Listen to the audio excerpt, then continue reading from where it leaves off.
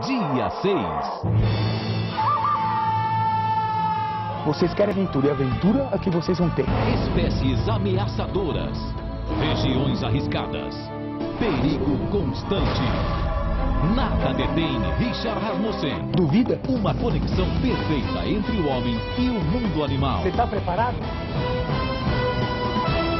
Aventura Selvagem. Estreia dia 6, 10 da noite, no SBT.